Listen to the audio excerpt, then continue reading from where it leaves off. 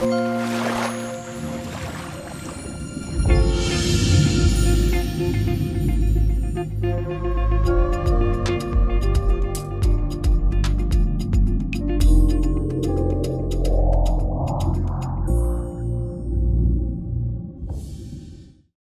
i dobrodošli u još jednu epizodu Diving podcasta. Um, kao i uvijek ja kažem da imamo specijalne goste, ali za mene ova epizoda specijalna. Zašto?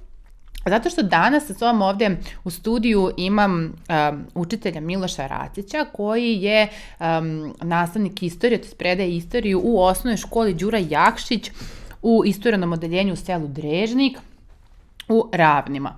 Uh, Ovo je, zašto je ova epizoda posebna, jeste zato što učitelj radi po jednim metodama koje ja stvarno nisam dugo čula da neko praktikuje u Srbiji.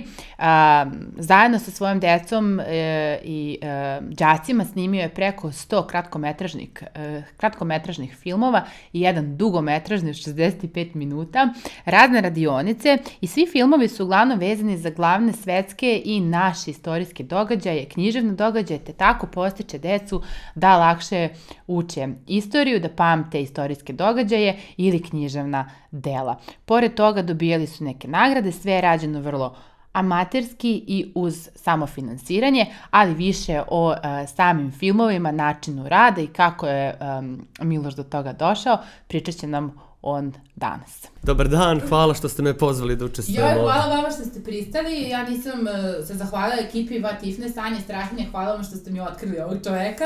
Uh, tako da, uh, i naravno Momčulu Antonijeviću koji je prvi u stvari... On je došao na lice jeste, mesta da vidi kako izgleda jeste, to. da vidi kako izgleda. Miloše, kako kreće vaša priča i ljubav prema, pa da kažem, profesuri, uslovno rečeno, i prosveti generalno? Dobro, ja još kao dečak sam voleo istoriju, to nekako ide, e, dečaci vole onako priče iz prošlosti o raznim kraljevima, vitezovima, carevima i u osnovnoj školi pa i kasnije u srednjoj gimnaziji dok sam bio, e, istorija mi je bila najumiljeniji predmet, tako da sam otprilike znao u kom pravcu idem i prosto sam znao da ću to i studirati. S time što onda tada e, u tom nekom uzrastu još uvek kao i većina danas ljudi ne znaju da razlikuju pravu, kažem, definiciju istorije kao nauke i istorije kao e, priča o prošlosti i tako razno razne legende. Tek posle kada sam studirao, zaista sam osjetio tu draž e, E, te, e, da kažem, ajde, nauke, istoriografije. Mada kada sam završavao, svestan sam bio da ipak neće biti naučnik, neću se baviti e, naukom nego prosvetom, jer je istorija, osim toga što je nauka, ona je i nastavni predmet u školi.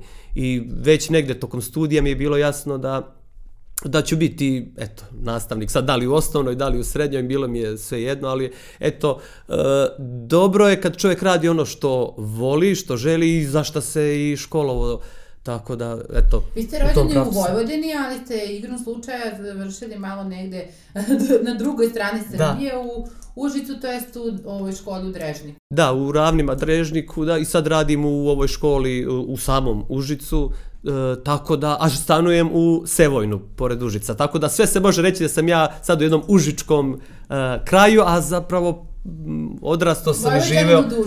da, u Bačkoj, u... E, moje selo odakle ja vodim poreklo je Lovćenac, to je usred e, Bačke.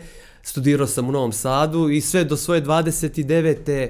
godine sam tamo ovaj živeo, ali prosto me u ovaj kraj dovela, dovela potreba za poslom.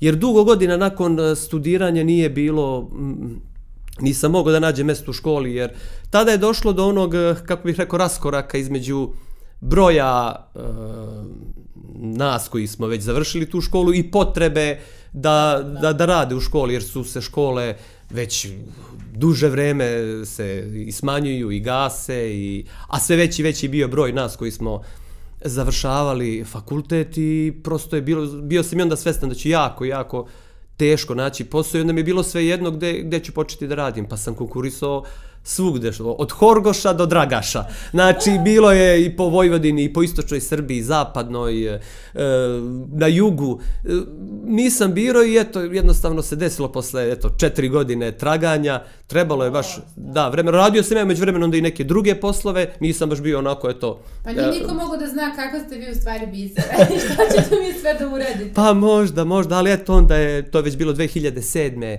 godine, stigo je poziv iz škole u Ravnima gdje je njima trebao nastavnik istoriji, to je za mene onda bilo onako, eh, da kažem, velika sreća, znači napokon da mogu da radim svoj posao i bez razmišljanja sam došao i u kraj koji apsolutno nisam poznavao, nisam ja nikada bio ni u Užicu pre toga, a kamoli da sam poznavao sela kao što su Ravni, Drežnik, A ste odmah krenuli da radite u toj školi u Drežniku ili... Da, u Ravnim i u Drežniku, tu sam radio godinama, sad više u Drežniku ne radim, a, pa radim, da, nažalost, zato što mi je to onako jedna od najlepših uspomena uh, u mom prosvetarskom uh, poslu, baš me vezuje za te prvih deset godina mog posla i baš eto vezano i u tom o, selu. Ali dobro, ne mogu sad da se žalim, lepo mi je i ovde u, i u ovoj gradskoj školi, to je jedna osnovna škola Slobodan Sekulić u Užicu, koja je isto veoma zanimljiva, isto ima dobru decu, dobre nastavnike, a nije mi ni daleko od mesta gde stanujem, tako da, eto, Koja je razlika između te seoske škole da ste bili sad ove gradske desne?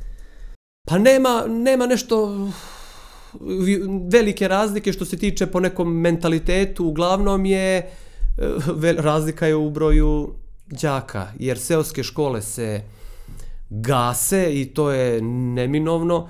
Nije to što sada neko to tako želi, nego jednostavno prosto nema, nema ljudi, nema mladih eh, parova sa, sa decom, Jer obično ide ona priča kao, eto, ne žene se, ne udaju se, pa ne, ožene se ljudi, udaju se devojke, ali onda oni kada hoće da os, zasnivaju porodicu, traže negde neke bolje uslove i napuštaju te ruralne sredine.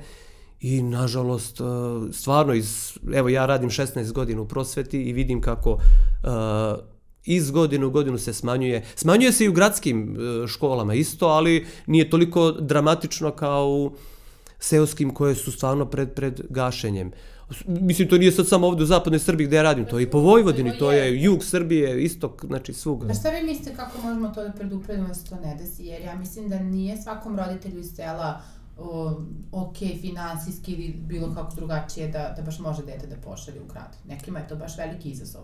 Pa jeste, a pa tu bi morala da se, što kažu, država ili neko iznad, e, da neko se uključi, da neko ko, ko da izvrši pravu, pravu analizu e, stvari.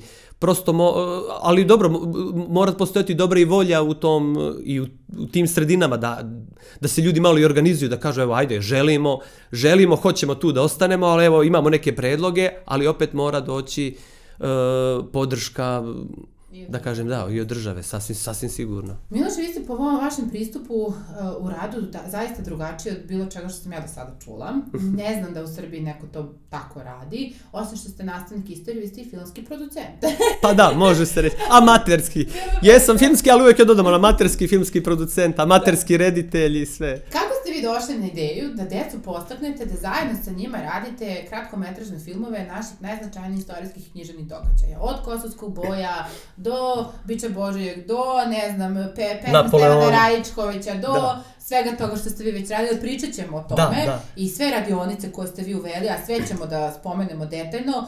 Kako je uopšte krenula ta avantura uh, filmske produkcije koja se zove Rad Renis? Da, Radrenis film se zove.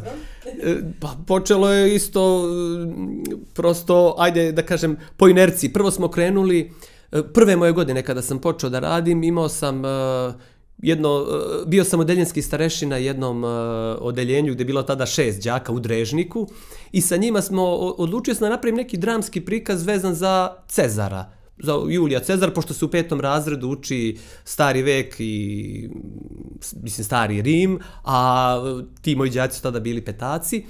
I dobro, dok su oni tako glumili, prosto je meni palo na pamet, ajde što ne, ne bi to zabeležio kamerom. Nije to bila naravno prava kamera, nego fotoaparat koji ima opciju video zapisa, da, i dobro, nije to bila ni montaža, iz jednog, iz jednog dela je to sve snimljeno. Ali onda opet, kada sam to gledao, pa je to bilo simpatično, ajde što ne bi dodao špicu neku, pa ajde što ne bi s- e, na kraju ko je glumio i prosto tako malo eksperimentisanjem napravili smo nešto što se amaterski moglo nazvati filmom. Pa je opet prošlo dugo vremena od toga e, do narednog filma, ali tek onda već kod tog drugog, trećeg, onda mi je palo na pamet da to može da bude, video sam zapravo u praksi, da je to veoma korisno i onda sam odlučio da to sve češće i češće radim i onda je u jednom periodu je baš, da kažem, ta produkcija eksplodirala, baš je, baš je bila hiperprodukcija, radili smo i više od 15 filmova uh, godišnje. Danas je to malo, ovaj, uh, malo manje, ali uh, zbog čega? Pa video sam da đaci, E, deca su e, maštovita sama po sebi, al tako? I oni opet mogu da se užive kada kroz glumu mogu da se užive u neke istorijske likove. Eto, baš taj đak u prvom filmu koji je glumio Cezara, pa kad treba da vidi Cezari ti sine brute, pa kada pada, pa uh, to je tako izgledalo, da kažem, i teatro dramatično i o, o, on se tu uneo kao da je zaista, ja sam zaista video Cezara tu ovaj ispred sebe. I prosto smo onda ajde odlučili da uh, mnoge uh, teme koje imamo iz, iz istorija koje mogu da budu zanimljivi, da budu, da kažem, zanimljivi na onaj dramski način, pa da ih, uh, da ih, eto, Mo, da, recimo ja bi onda napisao, tako, otprilike tako počinje, ja napišem scenario, scenario da ne bude nešto predug, da to otprilike bude film koji će traje 5, 6 do 10 uh, minuta, uh, E, E, i lakše je meni bilo da pišem kada znam već, ako sam već imao u glavi e, kojoj deci to nudim, pa onda znam tačno o, o, ova uloga je baš ko stvorena za tog i tog đaka, ova uloga za određenog nekog drugog đaka. I uh, kada podelimo te uloge krenemo malo da vežbamo, to opet traje, već sad zavisi po, po potrebi. I onda kada dođe taj dan da treba se snima, već pre toga razmišljamo kakve ćemo kostime da da nabavimo. Sve je to opet, ja kažem, amaterski nemoguće da mi kad smo snimali eto, Cezara, da smo mi mogli da imamo one toge rimske. Ali pa napravili... Pa da, tako, nešto smo napravili. Upravo to. E, opet se vraćam na onu maštu. E, e, e, najvažnija stvar je to je da onaj ko gleda, znači i deca, a, a ja sam osoba koja ima poprilično bu, bujnu maštu, ne bi ja ni mogo, da, ne bi ja ni mogao to raditi s njima, da mi jednostavno to kad gledamo da tako, da i zamislimo da je to tako bilo. Recimo, često u nekim filmovima su nam ponestajali, mislim, treba da im napravimo brkove i sad mi nemamo materijala da bi to, da bih nekako napravili. Meni je palo na pamet izolir traka, ona crna, samo je, onako, otkinemo koliko treba, da. zalepimo.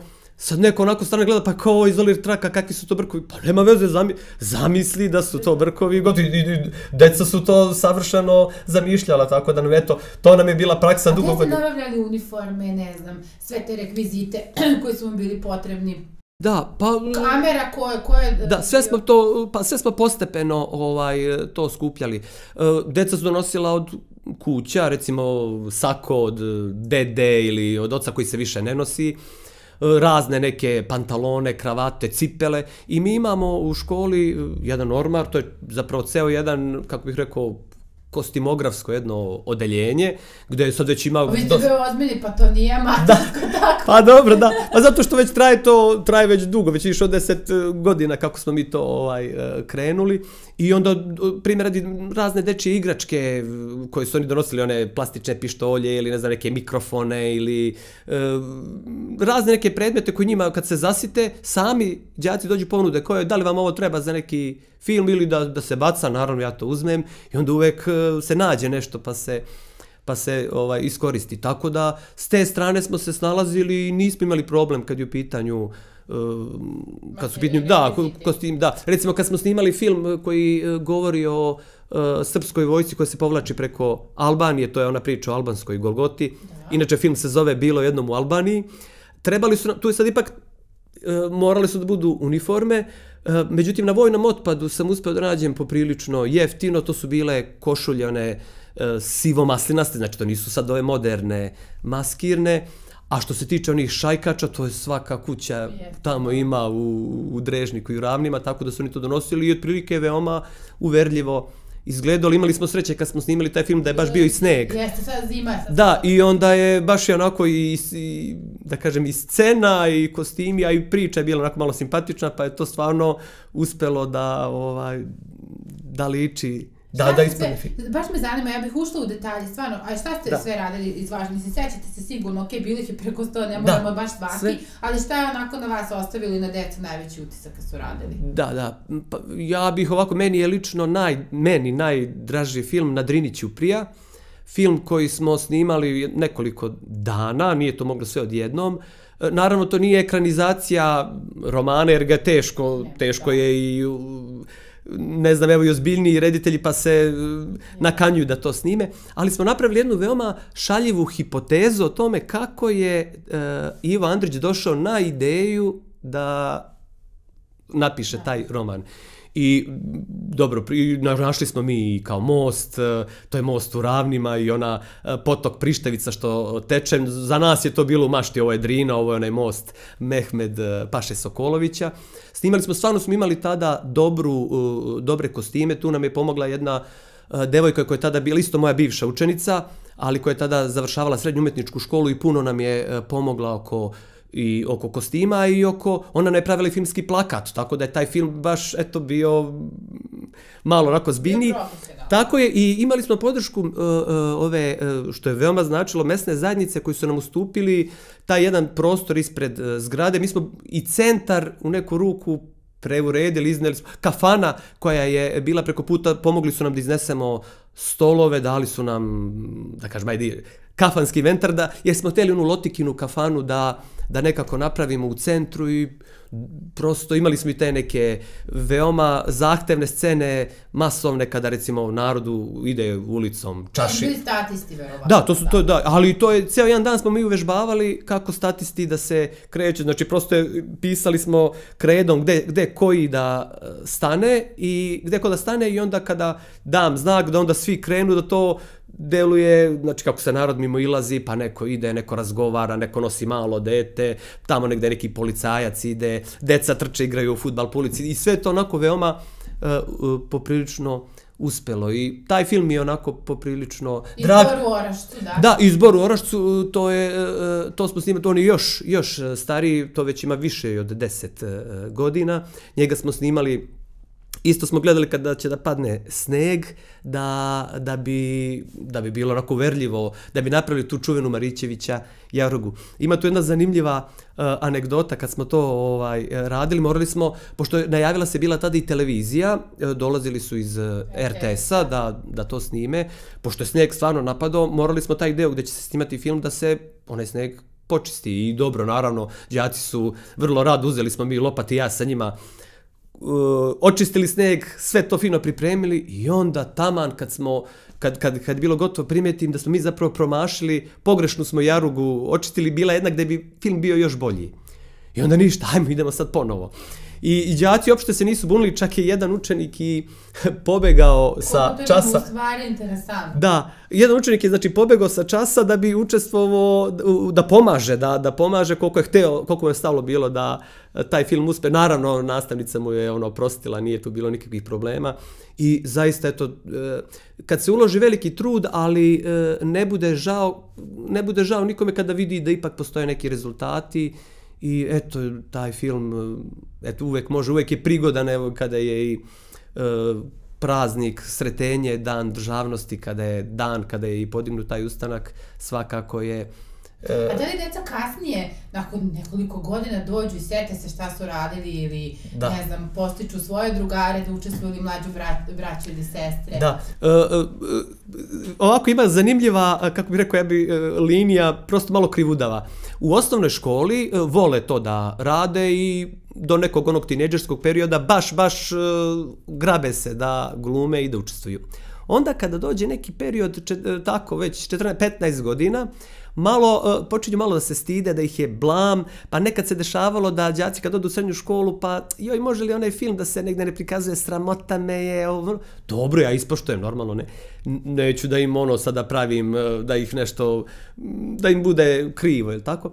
Ali onda opet, kad prevale negde 20. godinu, Uh, e, po, vidim da su zahvali često, evo recimo nedavno su mi, to je generacija 98. godišnja, znači koliko sad oni imaju, 25 godina, prosto mi je eto jedna učenica postala poruku da je napisala kao da se ponosi što je bila u tim filmovima i da je e, da, ka- kako je napisala, kaže, drago mi je što ste vi bili deo mog detinstva. Mislim, meni je to naj, e, najveća nagrada, kada oni, kad, kada vidim tu njihovu zahvalnost i tu, da kažem, eto, po, poz, pozitivne poglede ka, ka tome, kad shvate da to eto nije bilo e, da možda je to tada njima u početku izgledalo kao igra, zabava, ali vide da u toj jednoj zabavi igri smo ipak radili nešto korisno, nešto kreativno. Jer i ti filmovi nisu oni strogo, uh, kako bih rekao, ozbiljni. Nisu oni sad kao iz neke istorijske čitanke da to bude onako deklamovanje nekih historijskih događaja, jer bi, pa, opet možda to njih ne bi toliko ni privuklo. Trudio sam se da svaki taj film ima dozu humora, malo i ironije, malo i, da kažem, neke određene parodije na neke stvari da, da bi prosto bilo duhovito i njima ovaj, eh, I da bi lakše njima, naučili tako, stvari tako. Eto i ta priča o Ivi Andriću i o, o, o na Nedriću prija je poprilično onako šaljiva, šaljiva priča, ali veoma ozbiljno, to je jedan baš, eto, nadam se, lep pomaž uh, uh, i Andriću i, i njegovom ovom romanu. Miloše, vi ste uradili nešto, mi to danas zovemo matine, a matine kod nas ovde u Beogradu jeste kad idemo uglavnom na dnevne žurke. E Da. sad, meni je e, drago da ste vi to radili sa učenicima i da je to u stvari imao neki drugačiji pravi koncept. Šta je matine bio za decu? Da, mi smo i, i dva puta smo to ovaj, uradili, jednom u školi u Ravnima, jednom u Drežniku. Pa isto dnevna, dnevna zabava, ali e, zabava, o, kakvi, to su oni matineji kakvi su bili e, između dva svetska rata, dakle u duhu 30-ih e, e, godina 20. veka. E, Decu sam malo motivisao tako što sam im rekao, pa to će vam biti kao, gledali ste svi, ja znao sam da su svi gledali film e, Montevideo, Bog te video. Dakle, to je taj period 30-ih godina i onda smo e, imali smo, da kažem, ajde, žurku uz e, muziku tog, e, uz, mislim i pesme iz tog perioda. Ali trudio sam se da to bude u, e, uspio sam nekako na, na internetu da nađem e, pesme baš sa tih starih ploča, pa su, da kažem, ajde, zvučale Krče baš, onako da, kao da krče su i baš deluje kao da je da da da su e, E, pre dru, mislim kao da smo eto u periodu pre drugog svjetskog rata isto smo gledali da se i obučemo adekvatno Uh, prostoriju smo isto, da kažemo, premili tako što su bile i slike sa nekim starim automobilima iz tog perioda, pa onda e, uh, pla filmski plakati koji su poznati glumci iz 20-ih, 30-ih godina, bio tu Rudolf Valentino, bili su Greta Garbo i tako dalje. Pa smo onda, e, našao sam neki, da kažem do duše, to je bio pokvareni e, gramofon, ali nema veze, isto smo sa pločom, po, i to je bio deo neke postavke kao izložbe. To naš matine je bilo istovremeno izložba, slušanje muzike, malo ajde zabava, malo i neka, neka vrsta i maskembala, ajde kako da kažem, ipak su oni svi došli malo drugačije ovaj obučeni, a onda smo imali projekcije tih e, filmova. Srećom, pre nekoliko godina je e, u, sad ne znam kojim novinama, ali je Jugoslovenska kinoteka je objavljivala te CD-ove sa e, to su bili oni zapis istorije Koste Novakovića, pa su bili onda i ovi igrani, igrani filmovi, pa smo to onda puštali, eto, da napravimo kao i bioskop. Znači, pa onako poređali stolice i gledali A to gleda cijela škola ili to samo je to vaše E, odeljenje? To je e, e, zapravo onaj ko je hteo da učestvuje. Naravno, nismo mi ni mogli, niti bismo želeli da sada, mm, kako bih rekao, forsiramo da svi e, učestvuju, jer obično sve te aktivnosti se rade posle, e, posle nastave. E, pošto mi kada pre podne završimo školu, onda ostanemo da to ovaj odradimo, pa ako neko stvarno ima potrebe da kući, pa ne možemo, ne možemo nikome ovaj, e, ne možemo nikog naterati da mora da, da ostane. Bilo je tu i kolega koji su dolazili isto Da, kako druge kolege reaguju na to da, što da, vi radite? Pa veoma, veoma pozitivno. Eto, imali smo kada je bio matine, isto je jedna koleginica bila gošća, pa je čak i ona, pa i ja, normalno, morali, morali smo i mi da se obučemo u tom ovom duhu. Isto kad smo imali te neke druge, kao ono srednjovekovno popodne i to isto, uvek, su, uvek bi dolazio neko od, e, i od kolega i od nekih ljudi koji su to podržavali. Šta ste radili za srednjovekovno popodne? E, Pa srednjovekovno popodne je slično kao matine, samo smo se prešaltovali unazad e, još nekih par stotina godina. To je zamišljeno e, opet, znači popodne posle nastave, isto žurka, ali ovog puta uz srednjovekovnu muziku. E, naravno sad koliko je teško, na, e, teško je možda baš i naći u pravom smislu srednjovekovnu muziku, ali to se podrazumevalo i muzika one rane renesanse i uglavnom eto ono najstarije što smo otprilike mi mogli da nađemo. Đaci bi trebali da budu obučeni ili kao vitezovi ili kao neko je biro, pošto smo mi, tada, mi smo tada već e, učili razliku između feudalaca i kmetova, pa je neko htio da dođe da obučen kao kmet, to je čak možda bilo i najlakše da, da nađe neki, neki gunj, da nađe neke poderane neke stare pantalone, neki štap, neku kapu i on je već kmet. Mislim, i kmetovi su došli A do feudalac? A feudalac, to, to je malo zahtevnije bilo, pošto više, više njih su hteli to da budu, da budu vitezovi. E onda smo nekako, eto, improvizovali da to budu... E, nismo mogli imamo opet logično prave kostime, ali smo nekako kombinovali preko e, onih dukseva sa kapuljačom, pa da kad je to e, duks sive boje, opet u našoj mašti smo zamislili da je to ono oklop, pa onda nekako smo pravili ogrtač i uspeli smo nekako da napravimo negdje neko doda krunu. Imali smo jednog koji je htio da bude onaj saracenski ratnik, znači sa uh, bliskog istoka, pa je onda došao sa onim uh, šarenim onim šalovima, nako, tako da je bilo ovako veoma... Kako roditelji reaguju na to? Roditelji veoma, veoma pozitivno. Jer baš eto, kad je pitanju srednji vek, trebali smo, gozba ne bi bila gozba da nema šta da se nešto i... I pojede, za mezi. Pojede, tako je. I roditelji su isto slali, tako da je bilo baš ovo poslednje e, srednjovekovno popodne kad smo imali, jedan dečak je baš donao poprilično, poprilično hrane da počisti. Bar taj kraj ima i sira i da. kajmaka i da, šunke da. i pržute. Tako, samo smo vodili računa, naravno to sam rekao, da ništa ne donose što je vezano sa krompirom. Zašto? To sam im baš napominjao, naravno, shvatili su onda, zato što krompir nije bio u Evropi u srednjem veku poznat tek posle Kolumbovih eh, eh, otkrića. I onda I tako da su oni, naravno, naravno, je kukuruz isto, znači ništa, ni kukuruz, ni, nije bilo nikakvih, ne znam, kokica ili ne znam, neko kačamaka, tako da, ali dosta smo, dosta smo se ovaj sa tim e, dobro ovaj snašli. Čak smo onda uradili jedan mali, e, da kažem, ajde, kao izdali mali, mali kuvar, srednjovekovni kuvar.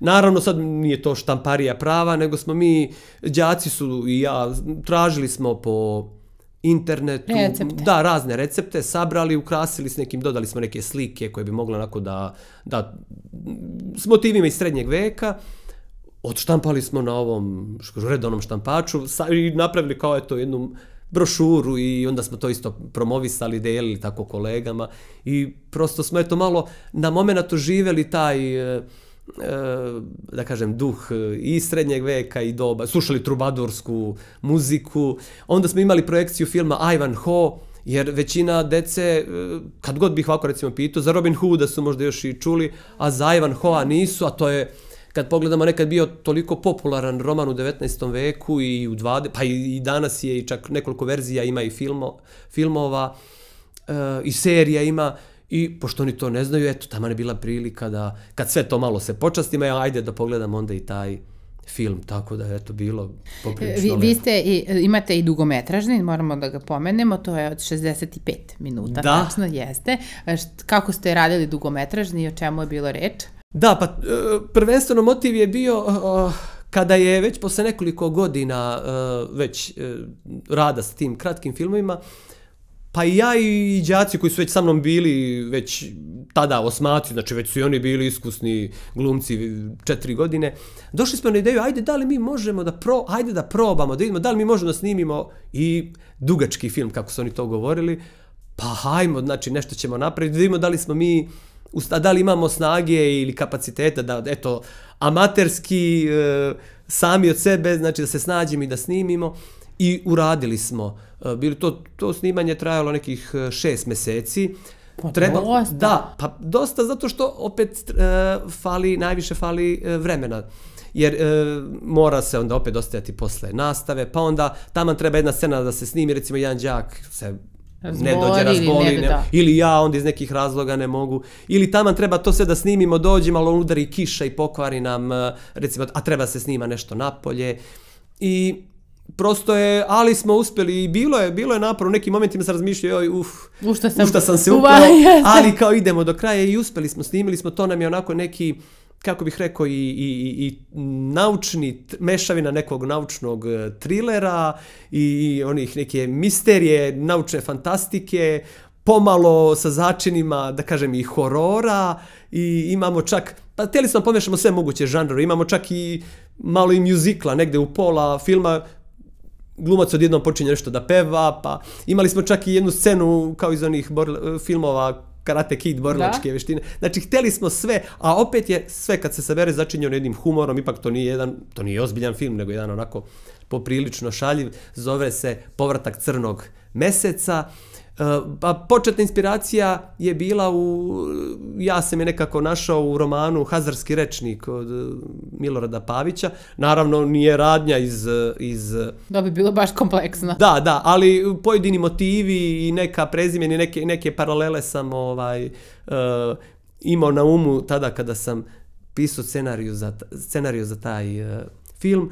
I dobro je, dobro je, opet je, da kažem, bilo baš je onako, sniman je, u tom filmu su e, glumili od osmog do, uključili smo i prvake, dakle, kao statiste, znači, bukvalno su, cela škola je tada e, glumila. I sad mi je taj film ima i u neku ruku, ajde da ne kažem istorijsku, ali dokumentarnu vrednost, jer sada, pošto to već, to je bilo pre 10 godina, e, Eh, sada ono kad vidim koje su generacije bile tada u školu, sve, sve, sve su to sad moji bivši đaci, tačno sad može se vidi ko je stariji, ko je mlađi, jer se među decom naravno jasno vidi ta razlika i onda mi nekad s nostalgijom pogledam te filmove, ne zato da bi sad ja gledao radnju, mislim naravno da znam š, eh, o čemu se radi u filmu, ali volim tako da pogledam i I naravno, u svim tim filmu ima toliko i, i grešaka i omašaka i sve to. Međutim, jedan prijatelj meni- meni je rekao, kao opšte nemoj oko toga da se e, sekiraš, e, e ta e, e, draž je upravo u toj nesavršenosti. Baš u toj nesavršenosti. Dešava se se... na kraju krajeva igrate. Pa tako je, Mislim, tako to je, pa igra. naravno igra. Ja sam se tu igrao reditelje, ja koji nemam po, pojma o režiranju, ja sam kao neki reditelji i neki scenarista, đaci, glumci. Niko tih đaka uh, uh, u, u ta dva sela gde sam to radio, niko nije išao u nekakve škole, glume, znači to je prosto, Možda se neko nakon ovoga i odluči pa možda da to, bi, to bi mi bilo, bilo bi mi drago, da, da, da, tako. Recite mi, Miloše, šta vi mislite nakon svega ovog vašeg iskustva i toga kako vi radite, šta čini jednog dobrog učitelja danas? Pa, e, da bi neko bio dobar učitelj, pa dobro, prvo mora da naravno da voli, mora da voli ovaj posao, da voli uh, decu, da bude posvećen. I ono što kažem, da bude maštovit, kreativan, da svako naravno na svoj način. E, Ima puno, to sam ja ubeđen, puno dobrih e, nastavnika, učitelja, prosvetnih radnika, samo eto što malo se o takvim ljudima e, priča, malo se zna, dosta se, kad pogledamo danas e, u medijima se uglavnom izveštava o nečim, nekakvim drugim stvarima, škola se pominje uglavnom kad je crna hronika, kada se desi neki užas i to su onako ni bombastični naslovi. I meni, ja kad god vidim e, neke vesti, desilo se nešto u školi, odmah već pomislim na nešto, na nešto bez veze i bukvalno smo došli do onoga kao kletva, e, da Bog da ti škola bila u vestima, znači prosto, uh, evo, posljednje vreme, samo u posljednjih mjesec dana bilo je nekoliko veoma ružnih uh, vesti koji stižu iz uh, škole i onda se stvara zaista tako ta negativna slika, a ima, ima zaista puno, puno uspešnih uh, ljudi, učitelja, nastavnika, i u mom mužičkom kraju i svugde, znači ima samo, eto, treba, treba društvo da ih, eh, da kažem, promoviše, znači, Jeste. A šta biste rekli za decu danas? Kakva su nam deca? Da, pošto stalno govorimo, joj, tehnologija će im Da. po, pojesti svu pažnju i da ne, mogu puno, ne može puno da se sada radi sa njima koliko je možda nekad e, moglo Da. ranije, jer nisu fokusirani, ne žele da slušaju. Kakva vi iskustva imate kao nastavnik? tačno je da, da, da su te tehnologije puno, uh, u nekim stvarima, puno su odmogle. Uh, ja nisam protiv inovacija, smatram da u redu treba, treba danas biti digitalno pismen. Pa eto, moja deca, e, mislim, moji đaci su svi e, digitalno pismeni od mene. Ja se, bez obzira na sve to što sam ja kao i radio snimat, to sam sve nekako na pamet priučeno e, radio. e, đaci se veoma dobro snalazi, to jeste dobro. E, dobar deo đaka veoma e, dobro barata engleskim jezikom, upravo najviše zbog rada uh, na, za tim računarima i tim telefonima. Znači, ima, ima sve to svoje i dobre strane, ali problem, kako ja vidim, o, o, otuđuju se i jedni od drugih, ali otuđujemo se i mi od njih. Znači, prosto sve veći veći generacijski jaz.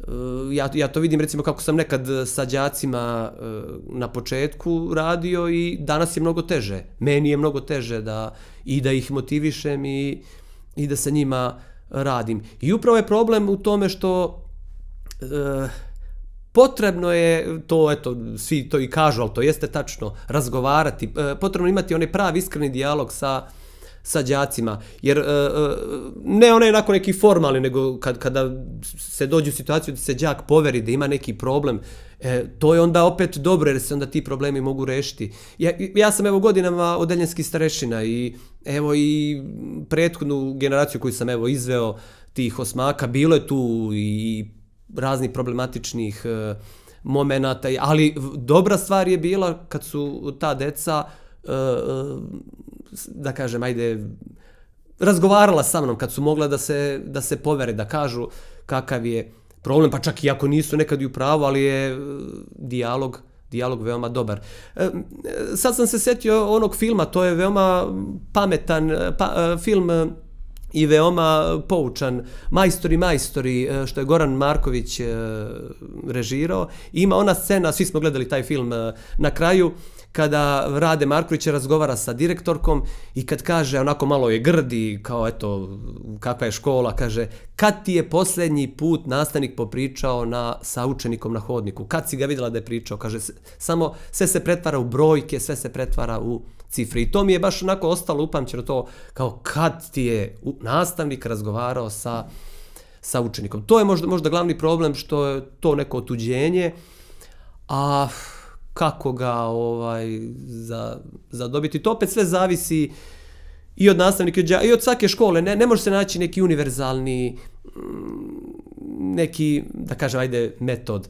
Nisu sva deca ista, nisu svi nastavnici isti. Znači, mm, prosto, eto, mm, ali mora se, mora se s njima što sve više više razgovarati. E, kada govorimo, znači, nisam, nisam protiv inovacija, super je da, da deca imaju i najsavremenije Dozvoljavate telefone i to, mislim, pa, toku ne, nastave, kad primetite, na primjer, da dete, dok vi pričate, drži telefon. Da, ne, do, ne dozvoljavamo, znači to nije, nije dozvoljeno, mada sam ja više puta i primetio nekad za neku, nekog da ispod uh, drži, ali sam uh, nekad procenim, nekad uzmem, jer ne želim da, da on te neke, ko zna šta sad radi i da, i da ne pazi, a nekad svesno uh, uh, ignorišem kao da nisam video, jer ne želim da prekidam onda nastav, jer dok bi se sad ja raspravljao s tim nekim oduzeo telefon, onda ovi, ako vidim da je atmosfera dobra i da ostali đaci slušaju, uh, ja bi sad uh, u pola priče o Napoleonu sad prekinuo, e, daj telefon, šta radi, šta si uh, uzeo, onda ovaj će sigurno reći nisam. I onda, i onda samo pravimo jedan cirkus i pažnja pažnja ovaj se skreće. Tako da sam više puta sam procenim nekad kada treba reagovati, kada ne. Isto kao recimo za žvaku, nije dozvoljeno i nekulturno je da đaci e, žvaću na času, ali isto nekada u, u sred posla, ako nekad i primetim, napravim se da, da ne vidim, da ne bi, da ne bi ovaj kvario kvario nastavu, a meni sada lično ne znači, ne osjećam se sad ništa nešto uvređenim, da li je neko žvako na času ili ne. Da li vi mislite da je sada veliki pritisak na prosvetnim radnicima, da možda moraju da rade zadatak možda i roditelja na neki način, zato što su roditelji strašno zauzeti ili ne stižu da razgovaraju sa svojom decom o problemima, često nisu ni svesni da ne poznaju svoju decu u toj meri. Da li osjećate malo veći pritisak prosvete i prosvetnog radnika danas Pri... nego ranije? Da, Da, pritisak da, ali u smislu o, ovaj odgovornosti. Da. da upravo to, oko toga. Na- Nastavnici su veoma, veoma odgovorni, ali ne bi e, ni to smetalo kada bi nastavnici imali u velikoj meri odrešene ruke.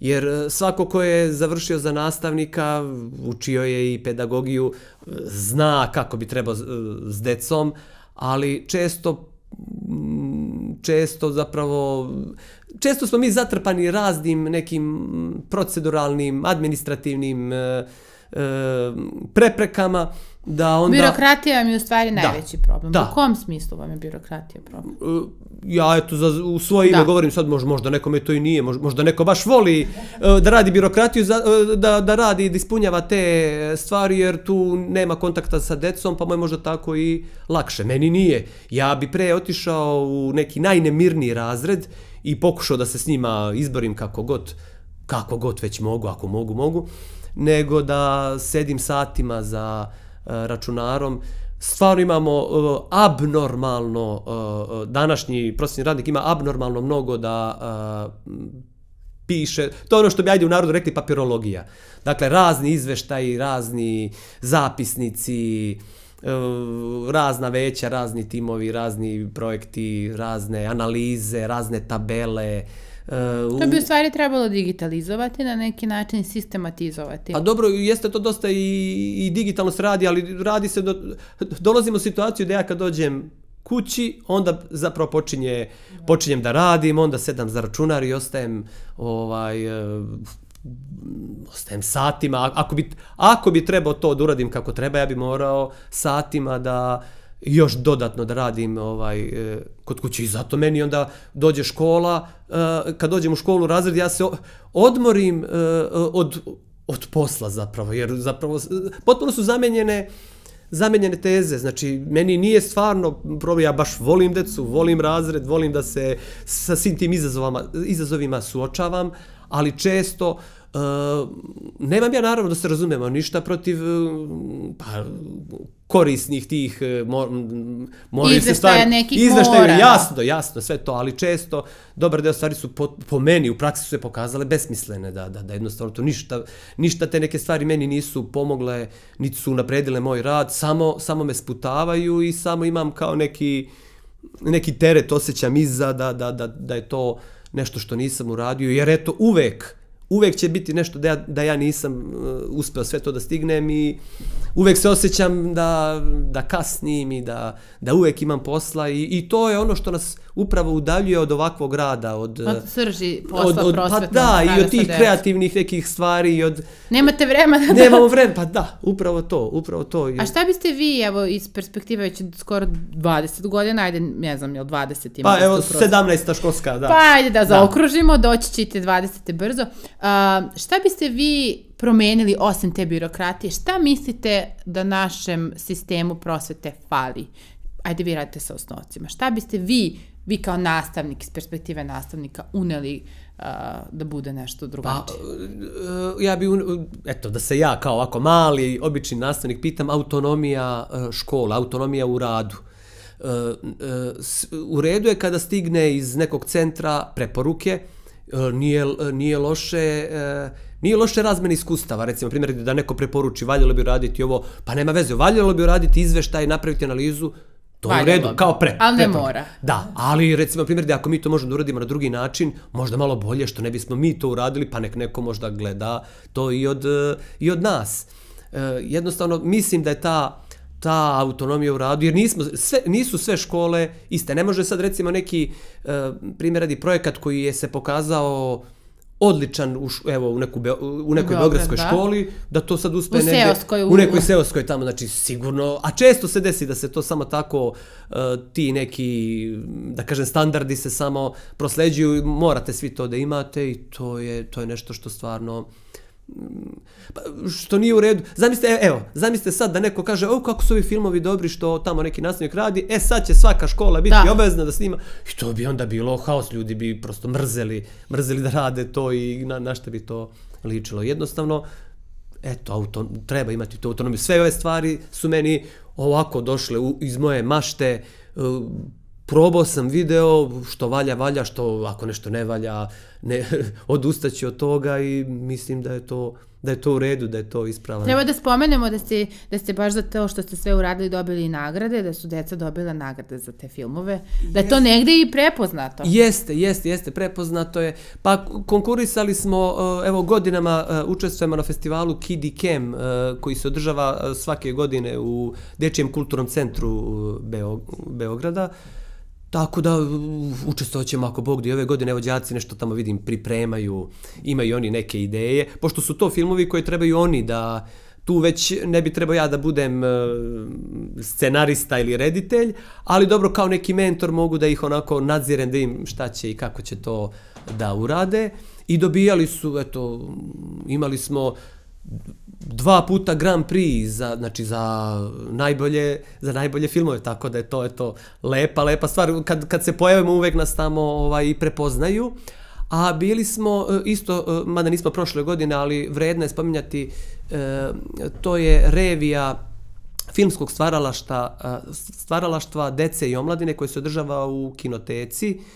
I to je isto jako dobra dobra priča jer su oni organizovali bili i radionice za decu da ih malo i nauče da da da se bave tim amaterskim filmskim e, poslom mada mada e, mi nismo nismo bili u mogućnosti da decu ja nisam mogu nekako to da organizujem da bi sad decu doveo da budu tu nekoliko dana kako je to bilo predviđeno ali svejedno imali smo poziv njima svakako hvala bili su spremni da da ovaj pomognu. I tu smo imali isto dva puta smo dobili jednom smo dobili prvu nagradu, jednom drugu, tako da je i to, eto, le, le, lepo je. Meni se svidao najviše što ste mi pričali, pravili ste neke stare sokove, da ste mi rekli da i to bilo, da ste, da ste. Da, promociju. Pa da, to je promocija jednog, eh, ajde da kažem, tih nekih Koji su naši stari sokovi? To isto, ja, evo ja prva, ne znam. Da, da, pa ono što smo mi e, promovisali, to su bili kabeza i klaker. Nekada se nije mogu zamisliti vašar e, bez kabeze, to su onim velikim e, posudama pu, e, gde napunjeno bude, bude led, pa onda izlače one e, flaše da, da bude osvežavajući hladni napitak. I to su bile one flaše sa e, onim vakumskim čepovima, pa da... E, da se to da se osveže eto posjetioci vašara. Kabeza je zapravo jedno gazirano gazirano piće, preteča ovih e, današnjih, pre, pojavila se, mislim, svakako pre Coca-Cola. Klaker je isto, to samo što ima nijansa kabeza je, više ima ukus kruške, a klaker je onako crvenkaste boje. I to djeca prave, vi im da donesete e, pa, materijale i onda oni... Pa nismo, to, to, to bi bilo idealno jer ima i recept kako se to pravi, ali opet e, nismo mi to mogli e, sami da, da napravimo, nego sam ja e, ovaj nabavio već gotove, ali smo napravili e, promociju ovako u, u hodniku i deca su glasala, da, pa i dopala im se više ovaj kabeza, tako da su bilo da glasuju za kabezu ili za klaker. Isto sam želeo, možda ćemo to nekad i uspeti da realizujemo i bozu, Boza je isto da, da. O, o, piće koje je do duše jako i zdravo.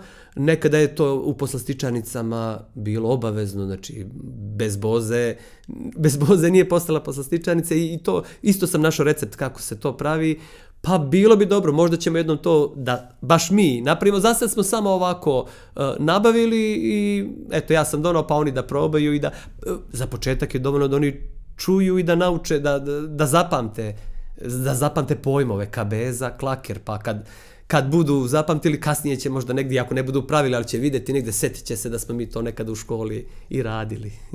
vi ste rekli, mislim, sad uh, znamo da je to samo finansirajuće i da vi u stvari nabavljate sve te neke stvari za njih i, re, i materijale, i rekvizite i uniforme i ostalo. I rekli ste da nam finansijska podrška u tom smislu nije potrebna i da ne biste sad vi to profesionalno, jer da. kao veća je odgovornost. Jeste, jeste. Ali šta vam u stvari, kako bi neko ko bi želeo možda da vam donira ili pomogne, neko će ovo odgledati, bit će mu strašno lepo to što radite i ljudi će se sigurno javiti sa nekim predlozima, pa šta bi vam falilo u tom smislu?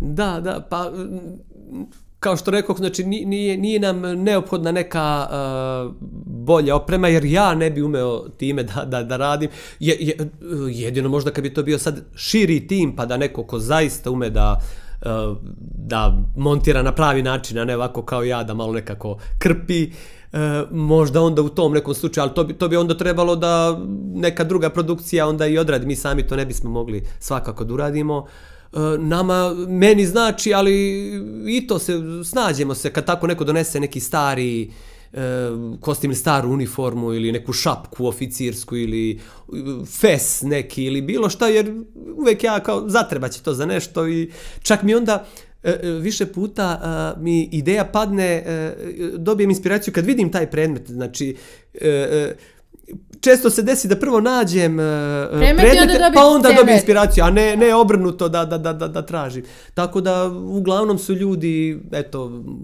pomagali pa su to tako do, do, ovaj, donosili.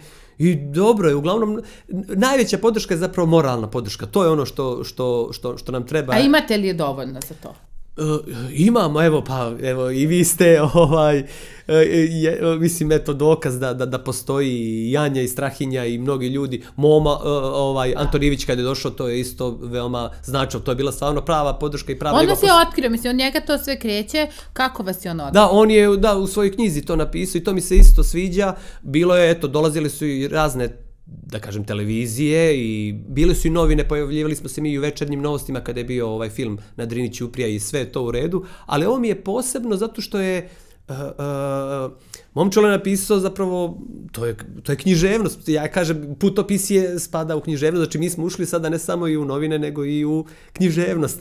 I, i njegova posjeta je bila ovako veoma zanimljiva, on je došao, uh, baš u duhu one njegove e, knjige koje smo eto svi čitali, nije on došao ni kao neki turista, niti je došao kao neki m, reporter. On je e, baš kao putopisac. Znam da je pričao, dobro se sećam, kada je stigao, čak je bio, išao je autobusom, pa je bio neki udes, zastoj, Pa je onda on nastavio peške, njemu to nije ništa smetalo, e, što je malo i kasnije. Sve to njemu bilo jedna avantura i on je to lepo ovaj, e, sročio. Eh, mi smo tada snimali film uh, Imenjaci. To je film koji je rađen po motivima literature Branka Ćopića, gde se pojavljuje Nikoletina Bursa, Bursać, Jovica Ježi i ostali oni uh, uh, drugovi. I on je onda bio tu na setu, gledao kako, kako to snimamo i baš je... Ba, i, mislim da su čak i đaci dobili dodatni motiv kad su vidjeli da neko sa strane dolazi da to gleda, da snima, kad su čuli da, da, da će to biti snimljeno, pa su onda još više, još više se trudili. Jedan dečak je trebao tada da, izvedi, da izvede pa pomalo malo i, i, i rizični neki skok sa, iz, ne znam, iz neke kuće, pa kao neku, neku vrstu salta. I on je to nekoliko puta uradio i kao, išli samo on govorio, ajde, ja ću da ponovim, mislim da nije bilo dobro, ajde ponovo, ajde ponovo. I tako smo nekoliko puta radili, znam da, da, da je i momčelu to bilo veoma, Tako vas je otkrio, je li tako? Taj da, on je tada... Sasvim da, slučajno je, ne pa, planirano. Ja mislim, e, dobro, pisale su već e, i, i neke novine, ver, verovatno je on i čuva, pošto je isto, e, po reklom iz naših krajeva, tako da je onda, on se najavio, znači nije on došao potpuno nepozna, najavio se, mi smo rekli tad i tad ćemo da snimamo, pa dobro došli i onda, onda je...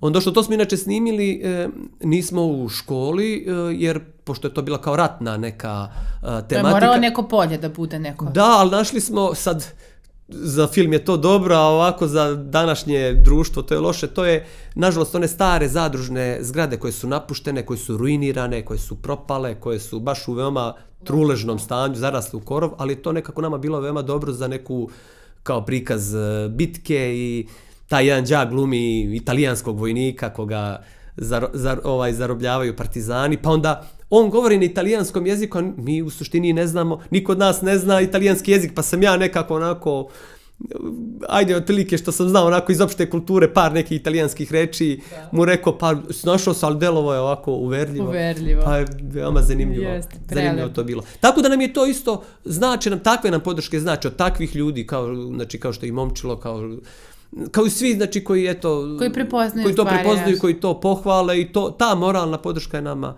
najvažnije, a za sve ovo ostalo e, možda i bolje, možda i bolje da nemamo neku... Nekog bolj- investitora. Da, jer bi onda sve to e, nosilo sobom i odgovornosti i neke druge stvari. Dobro, sve ovo je, mislim, dogod je to tako, to je dalje igra. Da, Što je da. i cilj, ide da deca Tako je, nauče. tako, jer ovo ipak deče, nismo mi ozbiljni, nismo mi prava produkcija, nego je to... Dobro, ali deci, e, oni to kasnije možda shvate da, da je to bila igra, ali mislim da u tom momentu dok su mali mnogo znači. Oni to shvataju nam verovatno malo možda i u zbiljnijem nivou. Naravno, nego... naravno, mogu tu stvarno i da nauče. Kad smo glumili, e, kad smo snimali film e, Zbor u Orašcu, pa sad sam ja delio uloge, kažem ti si Stanoje Glavaš, ti si Hajduk Veljko, ti si Karađorđe, I sad oni se užive u tu osobu, posle onda taj đak mene pita, a šta je posle bilo sa mnom, gde sam ja poginuo, gde sam ja bio, sad ga interesuje malo ta biografija, da se, jer on želi da se identifikuje sa tim A, sa junakom. ulogom. Tako da je to onda... Savršen način za učenje. Da. Mislim, stvarno kreativnije niste mogli svaka vam čast. Da, hvala. Da li to i danas radite i šta su dalje planovi sa uh, Rad, Radrenis produ, Da. film produkcijom? Da, pa radimo, mada e, manje, moram to da priznam, jer upravo manjak vremena i višak ovih papira, Birokratskih. birokratskih, Smanjite, evo poruka kogod da gleda iz administracije, smanjite birokratiju da možemo da pra, pratimo kratkometražne filmove dece. E, hvala na podršci. Da, pa, e, ali uspevamo koliko, koliko toliko. Sada nam je u planu, spomenuo sam već jedna, e, e, ta grupa učenika, to su petaci, planiraju za taj kidikem, ako budu uspeli, eto ja ću im pomoći da to urade. E, zove se Zakopano, e, radni naslov filma je Zakopano blago, kako đaci idu pa traže, našli su neku mapu Zakopanog blaga, pa da sad ne otkrivam sve e, šta, šta će biti ako se snimi film pa, će se, pa ćemo gledati. Imamo onda u planu isto, e, to se mi ranije želo, ali to će se biti malo nešto novo. Neće ni biti pravi filmovi, ali ajde da se, oku, da se malo okusimo i u tom uh, žanru, da pravimo trejlere, ali trejlere za književna dela. Primjer radi sad uh, Branislav Nušić Hajduci, pa da u 2-3 minuta mi predstavimo uh, kao, kao da je u pitanju film, ali da to bude par njih onako odglumi u 2-3 sekunde neke delove iz te određene knjige, malo onako ubacimo muziku, da opet to sve deluje malo i, i duhovito, malo i parodija, ali da se na kraju završi knjiga Hajduci u svim knjižarama i bibliotekama, čitajte, jer stvarno mi je želja... Uh, Vi ih na taj način samo što ih Da, učite da istoriju, vi ste sad mali e, nastavnici srpskog, Da, pa, uleteli u posao. pa dobro, da, pomažemo, pomažemo, pomažemo, jer želimo, želimo da, ja baš želim da kod dece se probudi ta ljubav prema knjizi, a teško je sa to, veoma, veoma teško. Da li oni uzme pročitaju tu lektiru na kraju?